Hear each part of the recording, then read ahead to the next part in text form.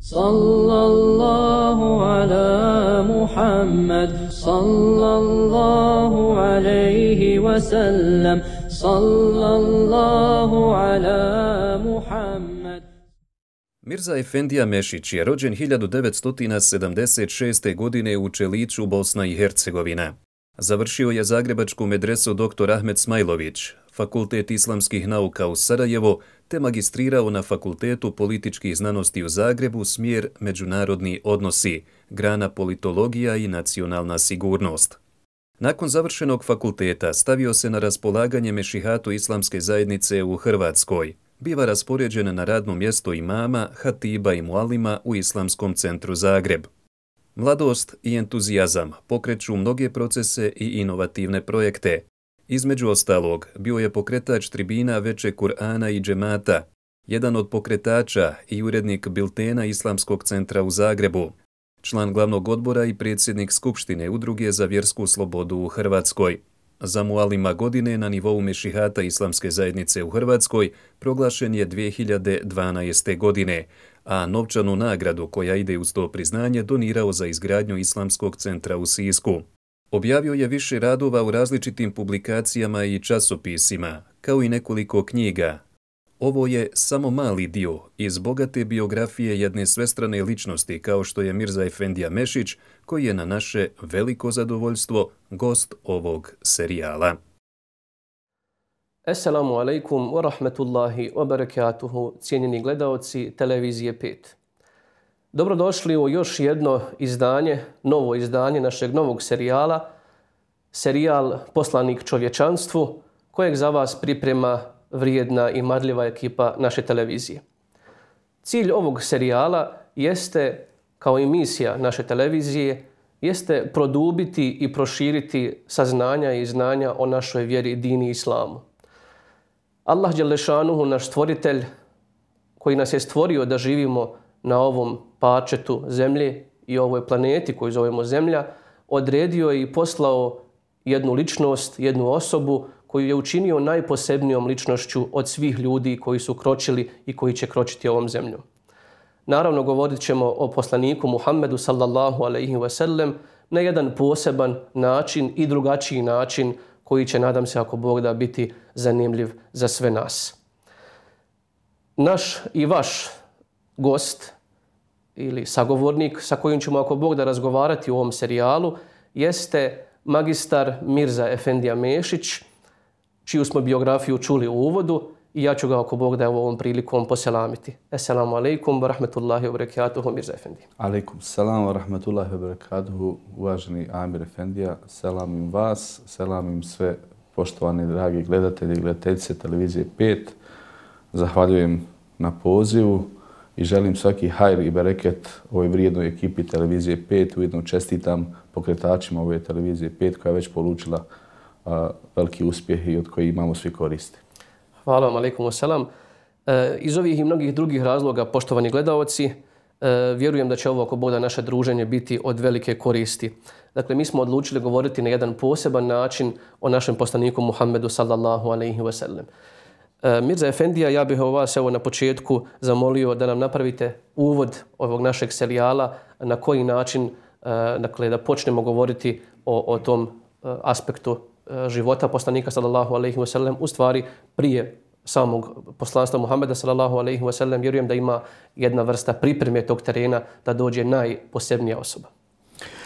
E, mi koji slijedimo Muhameda sallallahu alejhi ve sellem, koji ga volimo više nego sami sebe i koji očekujemo uz Allahu odredbu kader i njegovu milost da se nađemo u džennetu sa najljepšim, najvrednijim insanom koji je hodio ovom zemaljskom kuglom, a to je posljednji Allahu poslanik Hatemul Anbiya Muhammed sallallahu alejhi ve sellem, da bi razumjeli njegovu poslaničku misiju kao najtežu i najodgovorniju misiju koju jedan čovjek mogao na svojim plećima ponijeti. Bitno je da razmotrimo nekoliko uh, važnih tema, osobito za uh, nemuslimane koji uh, se pitaju ili ne znaju zašto muslimani toliko vole i slijede Muhameda sallallahu alaihi wa sallam.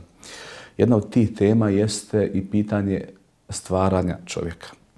Uh, u 19. i 20. stoljeću to se posebno aktualiziralo na zapadu gdje se nametala tema teorije evolucije, gdje se pod, na neki način, ne uzubila hetala, gospodar svjetova, Allah Đanešanu, Bog, pokušao istisnuti gdje se nametalo mišljenje da je sa čovečanstvo uh, E, produžetak teorije evolucije, osobito one Darwinove teorije evolucije, koja naučava da je čovjek stvoren od majmuna. E, islam kao vjera, kao moral, kao zakon suprostavlja se takvim teorijama e, evolucije i učenje islamskog o stvaranju svijeta i stvaranju čovjeka je jednostavno. Sve ovo što čovjek može pojmiti, što može vidjeti, je stvorio jedan jedini Bog, Allah Đelešanhu. Bog je vječiti stvoritelj, njega e, karakteriziraju svojstva El Hayyul Qayyum, vječni živi, ili svojstva Kidem Beka, od uvijek jer nije postao uh, Kidem od uvijek jer nije postao Beka, za uvijek jer ga neće nestati, dok je čovjek stvorenje, poput drugih stvorenja, ali najsavršenije Allahu Đelešanu stvorenje Na mnogo mjesta Allah Đelešanu to spominje, sura Tin, لَقَدْ خَلَقْنَا الْإِنسَانَ فِي أَحْسَنِ تَقْوِيمِ Stvorili smo insana u najljepšem obliku da bi razumjeli misiju poslanika Muhammeda sallallahu alaihi sallam i moramo i razumjeti taj proces stvaranja čovjeka. Allah Đelešanuhu nas obavještava, informira u Kur'anu i daje nam odgovor na pitanje ko je stvorio čovjeka i od čega, a ne kada i kako.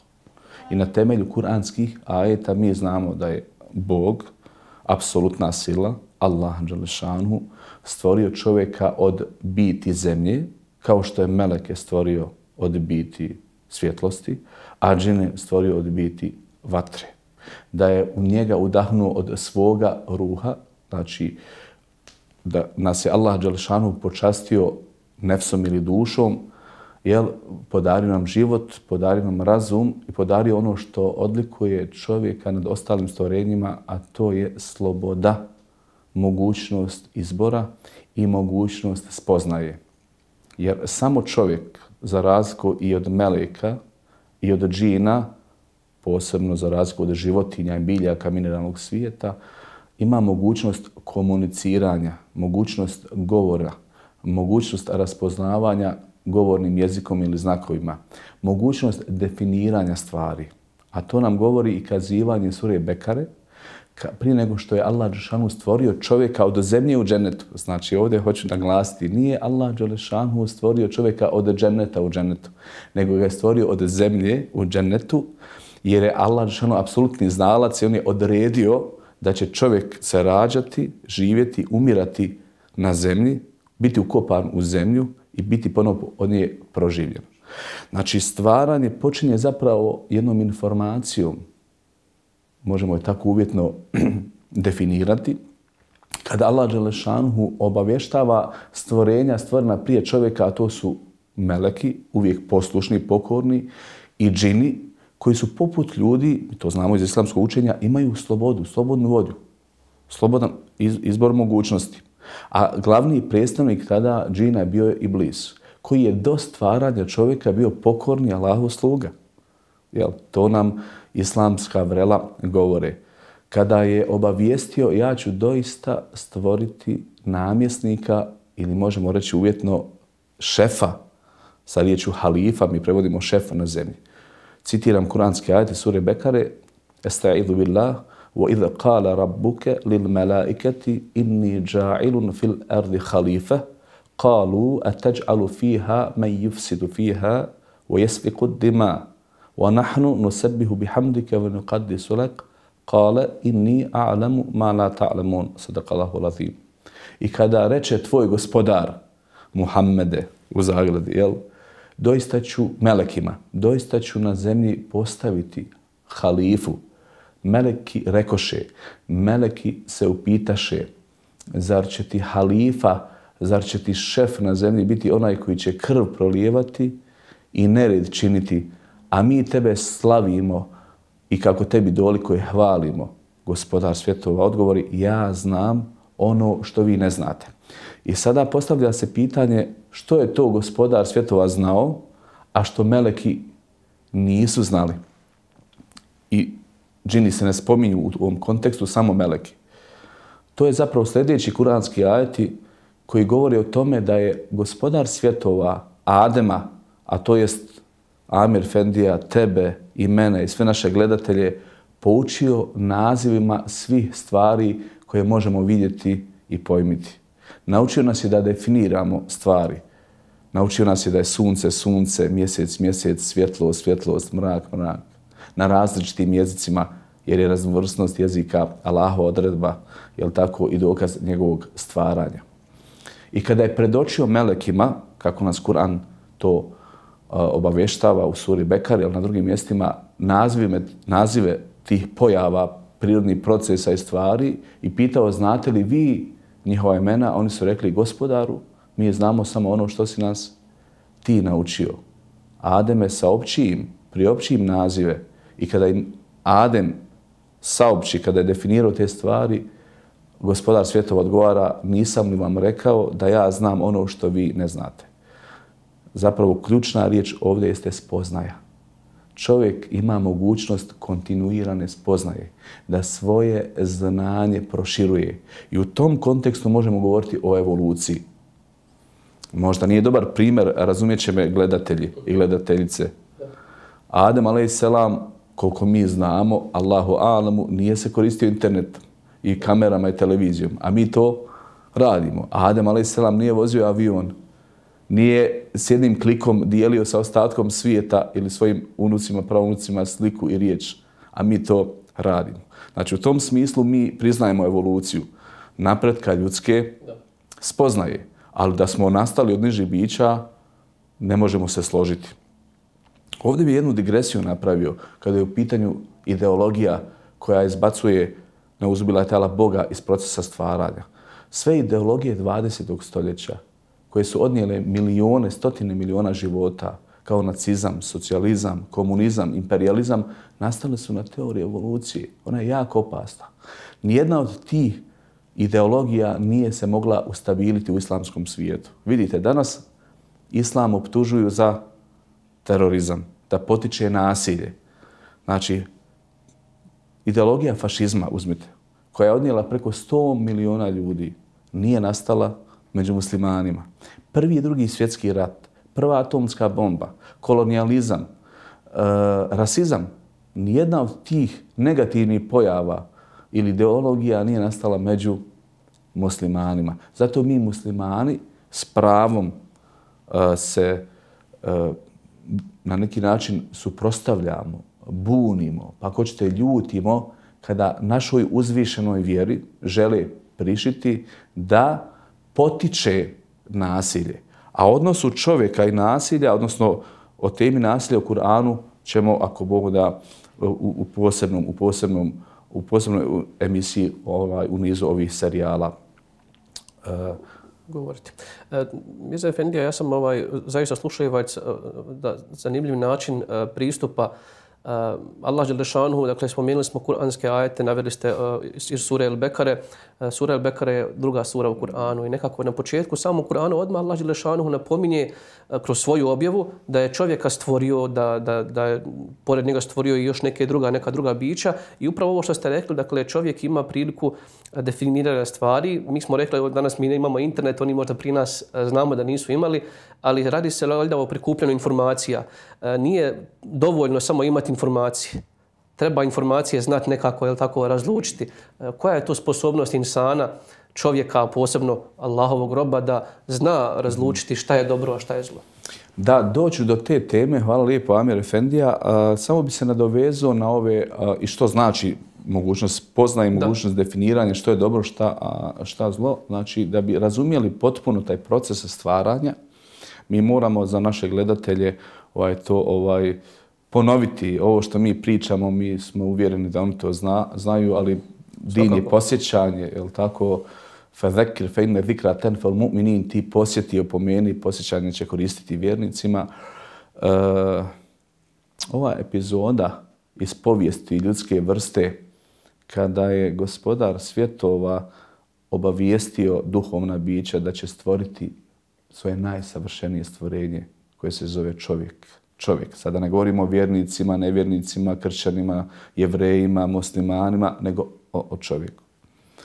E, u taj kontekst stavljamo i drugo biće koje se zove Iblis.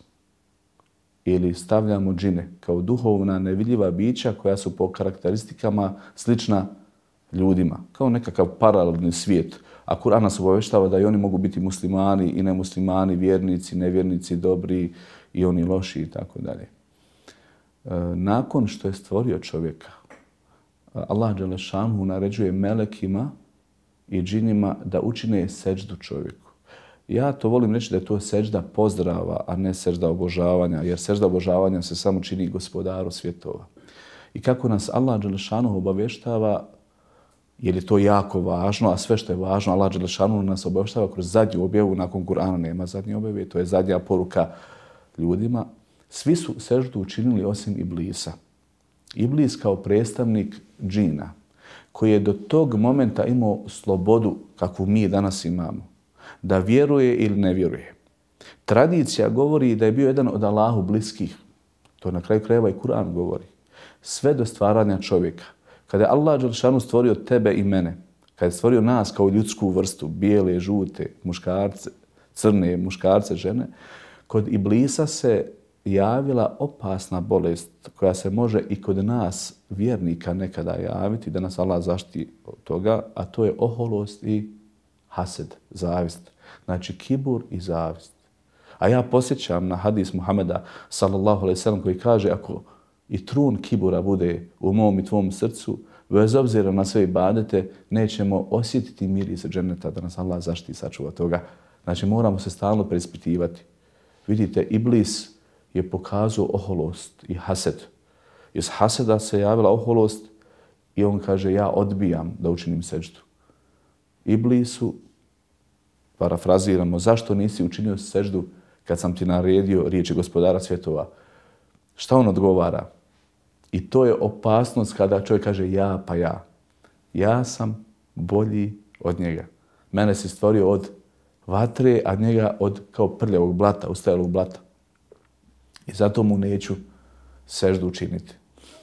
I onda Allah Đešanu kaže, tebi ne priliči da prkosiš. Allah Đelešanu u tom momentu ga istjeruje iz dženeta gdje je nastanjen Adem i Hava. Sada se prebacujemo na jednu drugu scenu. Scena dženeta gdje je sve dopušteno, gdje se želje ispunjavaju. Međutim, gospodar svjetova stavlja jedno ograničenje. Evo, prije nego što se prebacimo iz dimenzije u dimenziju, ako tako mogu nazvati, napravit ćemo kraću pauzu, ako Bog da. Poštovani gledalci, nakon kraće pauze vraćamo se ponovo u našem razgovoru. Sallallahu ala Muhammad Sallallahu ala Muhammad Cijenjeni gledalci, ponovo smo u našoj emisiji, našem razgovoru. Eh, Mirza Efendi, mi smo evo došli do onog dijela kada Allah Đelešanuhu eh, Adema eh, iz dženneta uz neposlušnost i blisovu da učini seđdu, dakle prebacuje ih u drugu jednu vrstu staništa, a to je zemlja. Da, prije nego što je gospodar svjetova spustio Adema, a.s. i njegovu ženu Havu, Hazreti Havu na zemlju, ja bi se vratio uh, na još uh, nekoliko rečenica vezano za njihov boravak u dženetu, što je jako važno za razumivanje stvaranja čovjeka. Lijepo nam je ženet, pa da ostanemo još malo tu. ako boda, ako boda jeste i mi ćemo ako boda. Ovaj, jel postavlja se pitanje, ako je gospodar svjetova, a mi smo predstavnici, ja sam Adem, vi ste Amir Efendija Adem, svako je čovjek kome Allah Đešanu udahnuo život Adem, a Adem je opet kao posebna jedinka. Ako smo bili u džennetu, u džennetu se sve želje ispunjavaju, zašto je ipak gospodar svjetova ograničio Ademovu slobodu sa zabranjenim stablom? Ja bih se vratio na našeg najopasnijeg neprijatelja, a to je šeitan, lanatullahi alaih ili iblis. E, kada je gospodar svjetova naredio melekima i džinima da se poklone seždom pozdrava najljepšim i najsavršenijim Allahovom stvorenju Ademu alaih salam, Iblis je odbio poslušnost, postao neposlušan i nepokoran, pravdajući se da je gospodar svjetova njega stvorio od vatre, a vatra je ljepša, plemenitija, za razliku od čovjeka koji je stvoren od zemlje. kada je gospodar svjetova Iblisu naložio da izađe iz dženeta, Iblis moli gospodara svjetova, upućuje mu jednu vrstu dove, možemo reći, jer je do tada bio Allahu bliski rob. Gospodaru, ostavi me s njima, kao s ljudskom vrstom, do sudnjega dana. Šta gospodar svjetova u Kur'anu odgovara? Daje ti se vremena. I ovo daje ti se vremena možemo razumijevati da je gospodar svjetova dao mogućnosti blisu da se pokaje, da učini teubu. Međutim, što i blis odgovara? Bože, zato što si ti odredio, pa sam ja s tvojeg puta skrenuo, ja ti se kunem tvojom veličinom da ću tom Ademu i njegovom porodu i svima nama prilaziti iz prijeda i sa zada, i sa desna i sa lijeva i odozgo i odozdo i kao on sada informira gospodara svjetova, a gospodar svjetova onaj koji je apsolutni znalac i ti ćeš gospodaru vidjeti da će samo biti oni, da će malo biti oni koji će biti iskreni. Umjesto da se pokaje, da se popravi, on svoj grijeh pravda sudbinom. Tako je, nažalost, i kod nas ljudi. O tome gospodar svjetova govori. Jer kad ljudi neće da vjeruju, neće da klanjaju, da poste, da daju zekad, da se ponašaju u skladu sa najljepšim moralnim vrlinama, šta kažu? Da je Bog htio, ja bi vjerovo. Tim riječima zapravo čovjek izlazi iz vjeri Islama. Jer Allah nam je dao slobodu, dao nam je pamet, dao nam je mogućnost izbora. Allah kaže, istina dolazi od gospodara tvoga, ko hoće neka vjeruje, ko neće neka ne vjeruje ali svi ćemo smrt okusiti i svi ćemo se njemu vratiti i biti pozvani na odgovornost upravo zbog slobode i zbog mogućnosti izbora. A sloboda i mogućnost izbora je došla do izražaja upravo u dženetu. Na koji način? Adema i Havu, to je mene i vas, Allah Đelšanuhu nastanjuje u džennetu i daje nam sve mogućnosti. Ali kaže Ademe i Hava, nemojte se približavati ovome stablu, U kršćanstvu se to navodi da je jabuka, jel, u, u, u židovstvu da je to grožđe, to sam ovaj malo istraživao njihove knjige. U Kur'anu je samo zabranjeno stablo. Zapravo to stablo simbolizira stablo spoznaje. Što je to Adem spoznao?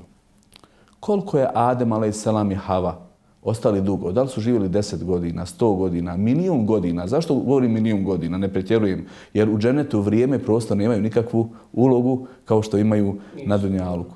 Međutim, ono što se zna, što nas gospodar svjetova informira, da je uz njih stalno bilo to biće napasno koje kroz njihove misli, kroz njihove šehevate, kroz njihove heva, stalno mu došaptavalo. Ili kako to naš Rahmetli Besim Korkut prevodi, bajatio. Stalno mu solio, mi kažemo, razbogtavom u njegove strasti, želje. A mi dobro znamo da smo svi stvoreni iz strasti naših roditelja i želja. Da. Jel tako? Jer Allah stvara sve u paru. Čime je to navukao Iblis, lanatullah alej, u stupicu u zamku našega pra oca Adema? Počeo mu je govoriti Ademe, tebi gospodar svjetova zabranio ovo stavlo da ne bi postao vječan ili da ne bi postao melek. I pazite, lampica kod Adem ali se lama. Ja vječan. Znači nema smrti. Ja melek. Nema tjelesne boli. A mi znamo da smo stvoreni od duše i da smo stvoreni od tijela. Da i tijelo pati, ali i da duša pati. I ta želja da bude vječan, a vječan je samo gospodar svjetova. Znači, pazite, da banaliziramo, pojednostavimo stvari. Iblis nagovara Adema I on na kraju, nažalost, pada u tu stupicu do zamku. Znači, pomisao da može biti na uvozu bila je tala Bog.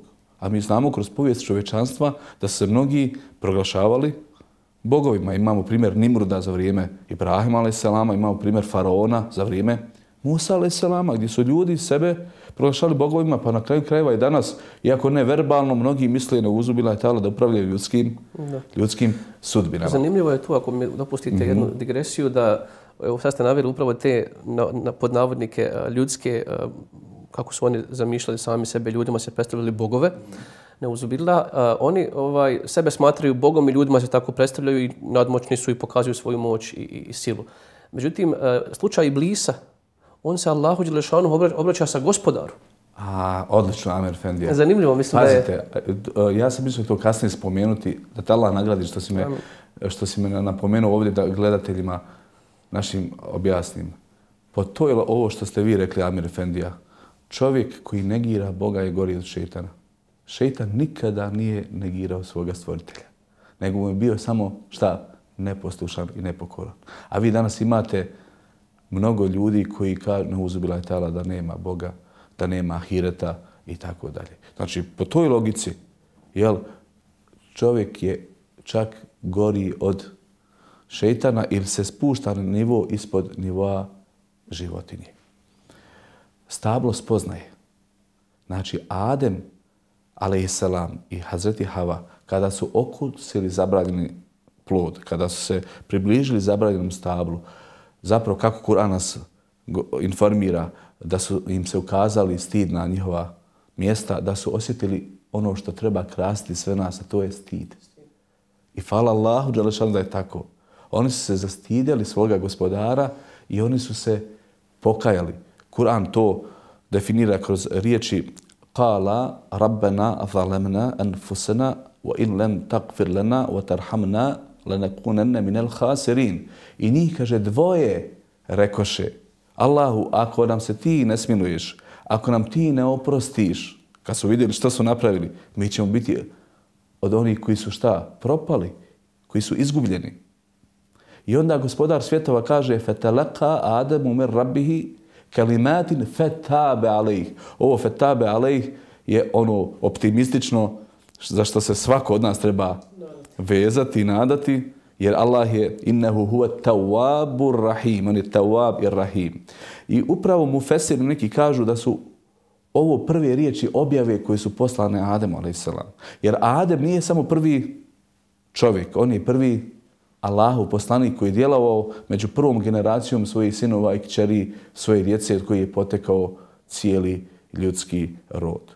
Međutim, gospodar svjetova sada, to je njegova odluka odredba, kaže izlazite iz njega svi. I ljudi i džini. Kuranski ajet isto iz sure Bekare govori, je tako, Kul nehbitu minha džemija, fa imma je'tijennekum minni hudan, fa men tebija hudaje, fala haufun alejhim, vala hum jahzanun. Šta gospodar svjetova kaže? Izlazite iz njega svi, od mene će vam dolaziti objava vremenom. Dolazit će uputa. Ko budi je slijedio uputu, moje riječi, moje naloge, moje smjernice, neće osjećati ni strah, ni tugu. U kontekstu što god izgubimo na ovome svijetu, nadamo se ahiretu i ponovno vraćam u džennetu. Ono što je jako važno da naglasim, da se vratim na slobodu. Ako nas je Allah stvorio u džennetu, zašto nam je ograničio slobodu? Pa upravo iz razloga što je Adem pokazao svoju slabost, a naša najveća slabost ili jedna od najvećih mana jeste zaborav zaboravio Adem da mu je gospodar svjetova rekao ni pošto se nemoj približavati ovome stavu. Kao kad nama kaže ni pošto nemojte se približavati bludu i, e, i metku je tima. Nemojte se, nemojte jesti e, meso umrloga brata svoga. Mislim na grije gibeta, ne mimeta. Nemojte gledati u haram, nemojte slušati haram. Nemojte govoriti haram, ne posežite svojim rukama za haramom, jer mogu biti grozne posljedice. To insan opet učini. Nažalost, je li insan nesavršen? Savršeno stvorenje, ali opet u ponašanju dopusti sebi, ovo je jako važno, dopusti sebi da ga šeitan nagovori na zle misli, na zle riječi i na zla dijela. Ima li to šeitan ovlasti nad nama? Nema. Šta je njegova uloga? Samo da nas nagovara, da nam budi želje, da nam rasplamsava želje. A kada imamo previše želja, čovjek upada u grije. Jer gospodar svjetova jasno kaže innehu lejse lehu sultanun ala ladhina amanu wa ala rabbihim yatawakkalun. On nema nikakve vlasti. Šeitan nema nikakve vlasti nad onima koji čvrsto vjeruju gospodara svjetova i koji se u njega uzdaju. Iako prije Kur'an kaže fa idha qara'ta al-Qur'ana fasta'idh billahi min ash-shaytanir rajim. Te gospodar svjetova kaže kada hoćeš Kur'an da učiš, ti zatraži utočište kod gospodara svjetova od prokletog šejtana. Pa onda ide, on doista nema nikakve vlasti nad onima koji čvrsto vjeruju, iman pokazuju i koji pokazuju tevekul kroz svoj život. Zapravo šeitan ima ovlasti ili utjecaj na one koji puste da ih strasti vode kroz život. Koji nakon, mi volimo reći, hedonistički žive. Jel? Kada je Adam, ali salam i Hava, kada su spušteni na zemlju, znači nisu ostavljeni da lutaju bespućima zemlje, da na temelju svoga razuma kao najmoćnijeg oružja i slobode izbora kreiraju svoj život. Nego je opet gospodar svjetova i svoje milosti spuštao objavu. I Allah Đelešanu kaže velikuli ummetin rasul, velikuli ummetin had. Nije bilo ni jednog naroda, ni jedne zajednice, a da nije imalo poslanika, rasula ili onoga koji je šta upućivao na dobro, a odvraćao od zla. Pa tako se smatra, i to je islamsko učenje, da je Adem, a.s. prvi, ne samo prvi čovjek, nego i prvi Allahov poslanik. I tu dolazimo do jedne točke gdje naglašavamo zašto važnost poslanstva. Jer postavlja se pitanje šta da nije gospodar svjetova slavo poslanike, da li bi ljudi mogli doći da spoznaje Boga? Odgovor je da, mogli bi. Na temelju razuma, vi i ja, ako razmišljamo, možemo doći do spoznaje da ima apsolutna sila. Allah, Đelešanhu, na bosanskom Bog, na engleskom God, na starohebrejskom Jahve, na njemačkom Gott ali jedan jedini gospodar svjetova, koji je jedini vječan. Jer Adem, a.s. je kroz ono zabranjeno stavlo saznao da ima Bog koji je vječan, a da on kao stvorenje ne može biti vječan. I znate što je još saznao? Saznao je zapravo da sve ima svoj antipod ili suprotnost, što je dobro za čovjeka. Jer kako bi Amir Efendija, vi i ja, znali vrijednost vode i vrijednost hrane da ne ogladnimo i ne ožednimo? Kako bi znali vrijednost zdravlja da nije bolesti? Kako bi znali vrijednost života da nije smrti? Kako bi znali vrijednost vječnog dženeta? Pazite, vječnog dženeta da nije dunjalučke prolaznosti. E to je odgovor na pitanje, ako se neko pita, a što nas Allah nije odmah stvorio u dženetu? Zato što smo mi takvi ljudi da mi to ne bi znali šta cijeniti i vrednovati subhanallah. E zato nas je Allah spustio na zemlju, stvorio nas je od zemlje, pazite, od biti zemlje, nije od biti dženeta, od biti džen, od zemlje. Rađamo se kako gospodar svjetova odredio biološkim putem od babe i mame iz njihove ljubavi, što je znak Allahove egzistencije. E, odrastamo, živimo, starimo, umiremo, bivamo ukopani u nju i ponovo će nas gospodar svjetova šta?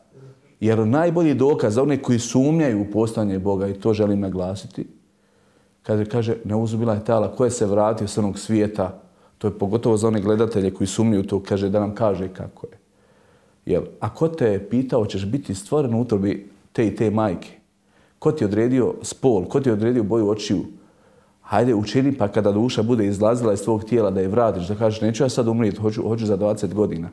Zar nije to najbolji dokaz da postoji jedan jedini Bog, Allah Đelšanu? Na kraju krajeva Allah Đelšanu kaže u Kur'anu Kerimu Kejfe tekfurune billahi وكنتم أمواتا فأحياكم ثم يميتكم ثم يحييكم ثم إليه ترجعون kaže kako možete negirati postojanje Boga a bili ste ništa bili ste mrtvi pa vas je Allah oživio pa će vas ponovo usmrtiti i svi ćete se njemu šta vratiti i to je najbolji argument da postoji gospodar svjetova, a i najbolji argument da su ljudi kroz povijest ljudske vrste od gospodara svjetova dobivali upute, odnosno poslanstvo radi samih ljudi. ljudi.